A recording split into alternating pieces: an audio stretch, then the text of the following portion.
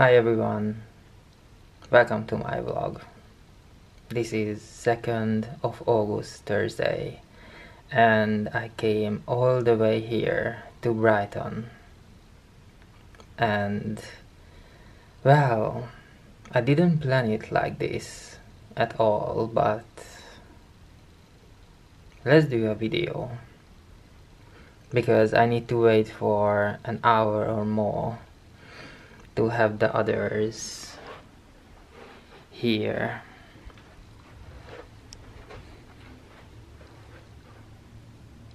So that's the hotel room. I was just there. So that's the door. You come in. That's the bedroom and I'm in the bathroom. And here we have the beds. Look at that. Look at the size of them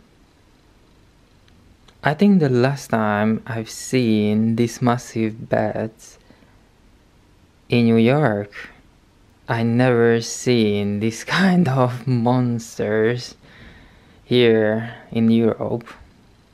But I was really glad when I've seen them. this is great.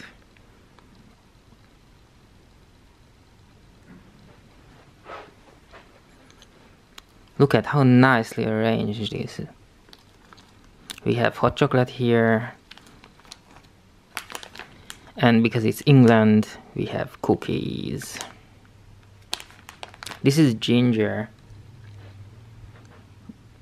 I already choose the bed it's next to the window. Usually I take the bed by the wall as far as uh, from the window as possible.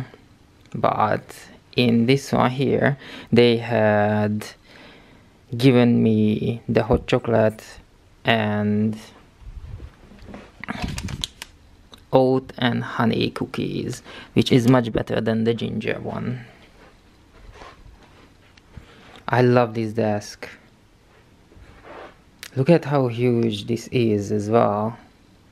I wish I had something like that at home this is the TV down there the remote control. I never use the TV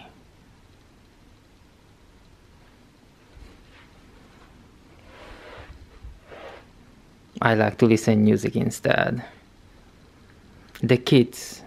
Oh my god. We have lots of kids next to us.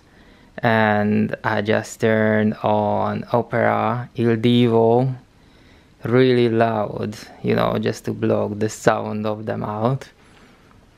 But anyway, I like children, so it's fine. It's 8 o'clock and it's already getting dark.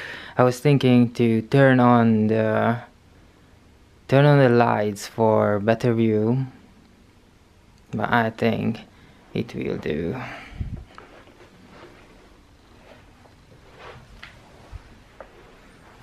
Of course, I didn't bring the tripod. So I guess I need to hold it.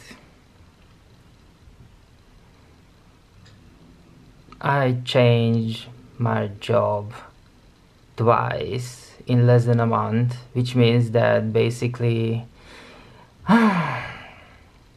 basically I've lost my holidays or a chance to go for holiday for proper holiday one week or two weeks or anything like that.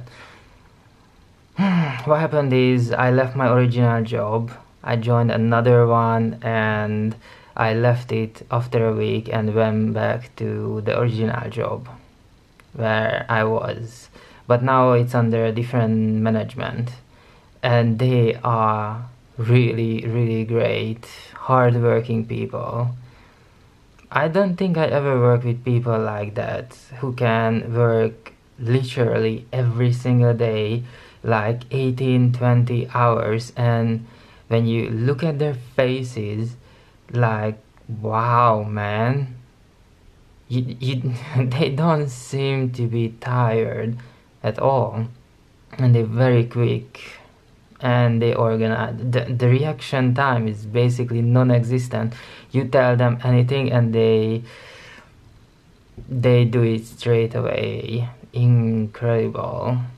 So i've been doing long hours as well. From, from like 7 8 o'clock in the morning i start and then finish 9 and 10 in the evening but because i work with these kind of people who are really strong really motivated i don't i don't feel the time. I don't feel the time at all. Hmm. it would be great to have breaks in the same time but you know it's alright. I went back to the place which i I really like and where I spent years and years.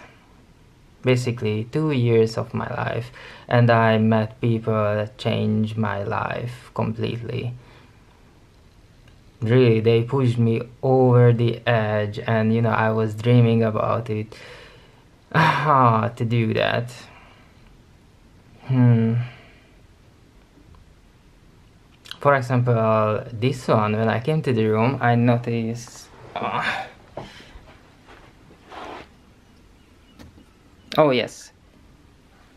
I have white shirt with yellow stripes and the white short and the black socks. And you could wonder why. Well the thing is that my grandma bought these socks. And a few weeks ago we went home to celebrate her 80th birthday. And you know I like I like these socks. And when I look at them I think of her.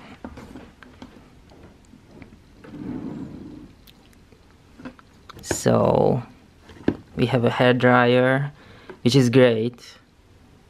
Because usually Oh no no no! I wanted to say that usually we don't have hair dryers in the hotel rooms, but I realized that uh, when we were in Paris, we had it as well, and we had it uh, on a ski holiday as well. So let's skip that part. I wanted to talk about this, the Holy Bible. I think I was reading an interview with. Uh, let's sit down. I was reading an interview with Brendan Fraser, the actor who played in the original Mummy movies. and there was a, an interview with him. He sounded very, very old and bored and really down and stuff. And um, the reporter asked him if he's believing in God. And he said, well, I don't remember what he said, that he said yes or no, but I remember that for him, praying is when he's in the hotel room, he opens up the Bible and read the first line he sees. And that was the first time I wondered about the hotel rooms that why they have Bibles in them. And then I started, it was long time ago, and then I started to travel around the world and I found out that it's true that every single hotel room has a Bible in it, and I think it's great. It's a good stuff. Anyway, I won't open it and I'm not gonna read up anything but I can tell you how everything changed in my life. I came to this hotel room and the first thing I did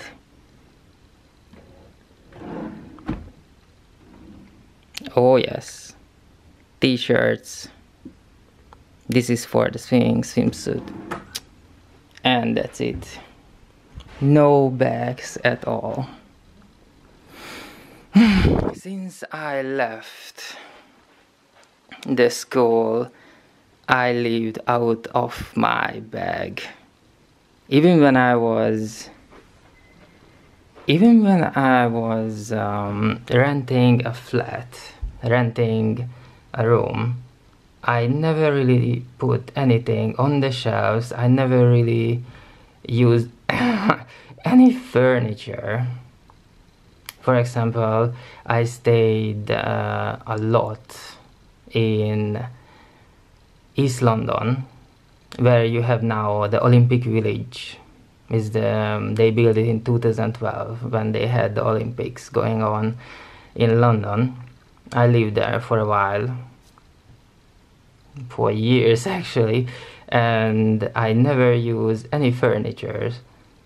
I had my bags, I think I had like two or three suitcases and I had all my books, all my comic books, all my shirts in them and it was fine and this January, since this January when I finally started to change my life around without a question. I came to the room and put my stuff away. So I have my suitcase in there completely empty and all my stuff just in here and it feels alright Ah, I changed a lot since January. Oh, back to the mummy movies. Since January, I started to study again and.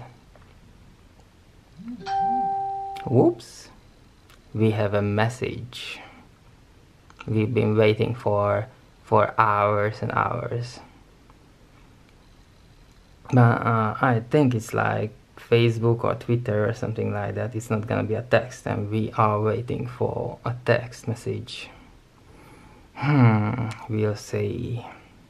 Back to the mummy movies.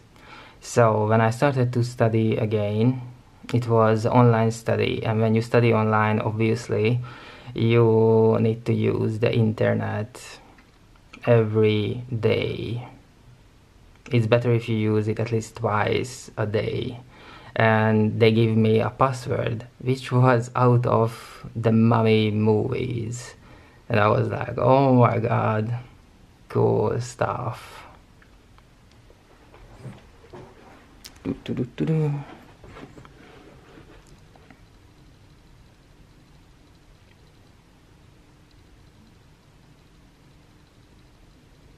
hmm. they are not here yet.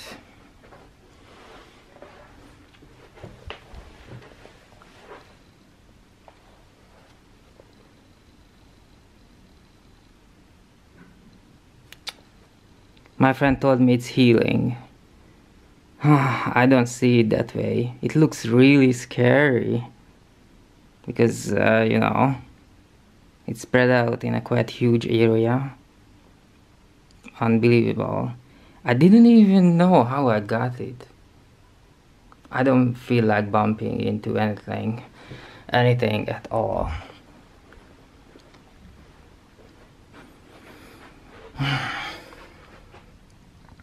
I was so bored waiting for the others that actually I sent an email applying for a job. Wish me luck. So before we finish I show you the bathroom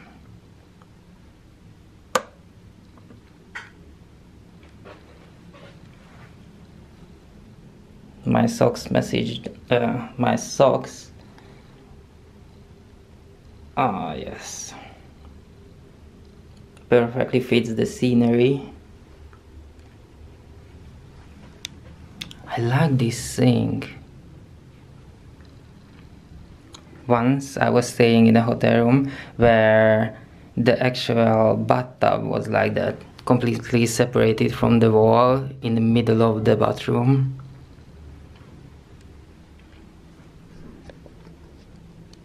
So here we are. I had a little bit of problem using this. And of course when I was standing just right here I turned this thing on. I'll show you the size of it. This is my fist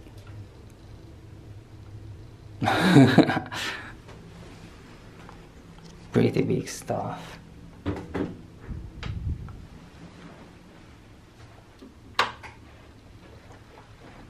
Where are the others? Come guys otherwise I'm gonna drink your hot chocolate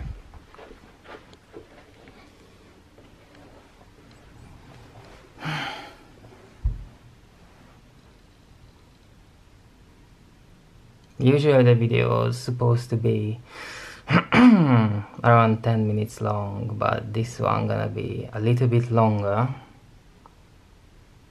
because I talk really slow. I'm on holiday.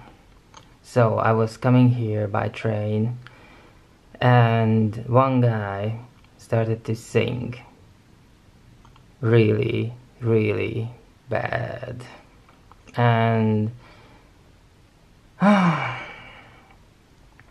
I finally changed my life in January, the very first thing I did was signing up for singing lessons, you know, just to help me uh, to um, strengthen my communication skills and learn to speak public, you know, public speech and all that stuff. Everything comes with the same technique uh, you know how to breathe and um, you know how you put your shoulders and all that stuff. So when i hear someone singing the very first thing i'm listening to is the breathing. And this guy was was drunk completely, utterly drunk, and he was singing Taylor Swift over and over again, like five or six times the same songs. With it was really terrible. And when I say terrible, I mean he didn't really put any effort in it it really pained my ears. And you know i looked at the other people on the train. Where well it wasn't a full train. Maybe hmm, we used like 90% of the seats. And no one seemed to be bothered by by this man who was singing taylor swift. And then i think in the end he switched to Britney Spears. Oops, I did it again. yeah, you did it like five times, every single song. Five times.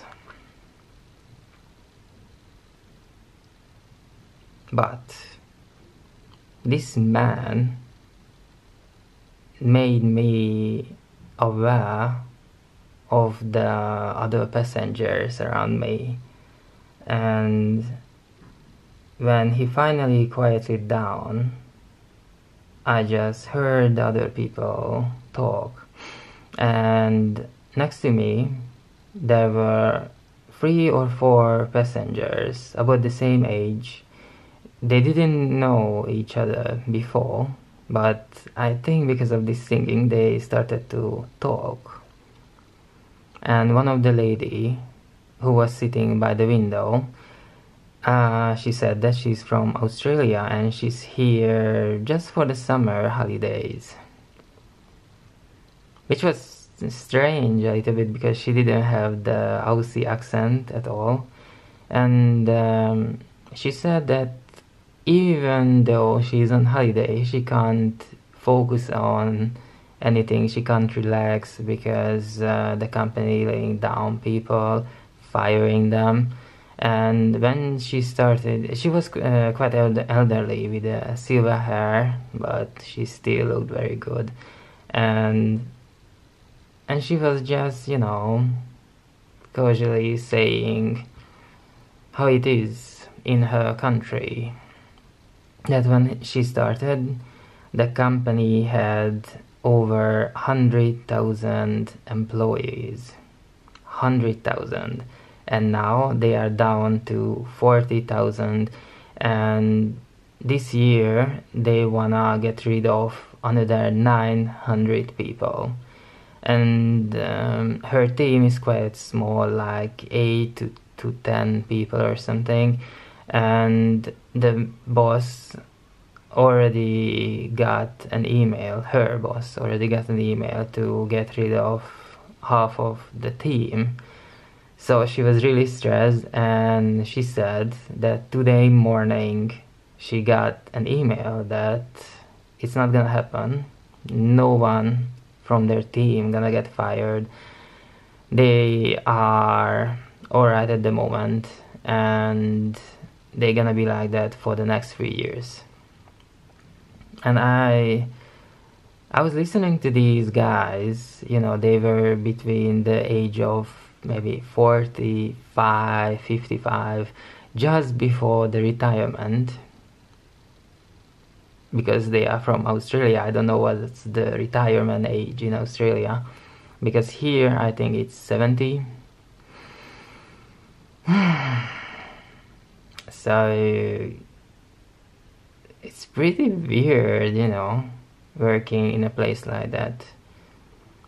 Because where I work, I didn't choose this. Uh, it just kind of happened. In, what I do is um, that business is expanding. You know, every single day.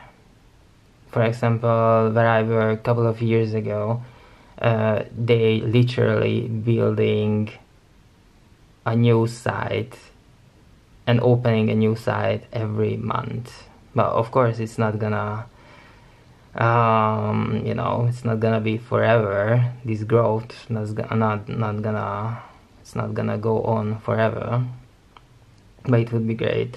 But you know working in a company which had 100,000 people and now is down to 40,000 that is pretty worrying stuff. But you know, I was thinking about them, I was thinking about their age, and I realized that how different I am and my friends from the previous generations. I just told you beginning of this video that for example I never used the furniture. I never used the fridge be before this January. So when it comes to you know the previous generation they bought their houses when they were like between 18 and i don't know 24 and they bought furnitures they bought this they used these services and that services and and you know it was a completely different life. And all those companies that were supporting this kind of lifestyle now they are in a really bad position because the new generation is living in a slightly different way.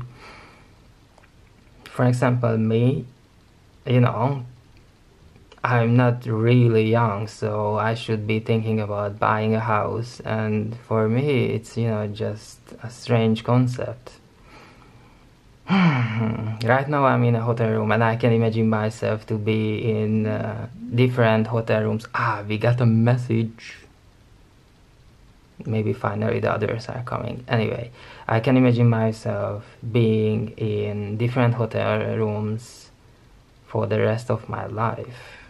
But and my friends are the same. Everyone is renting everyone is moving around changing cities countries like the previous generation changed t-shirts. So i can imagine that it puts a rather big pressure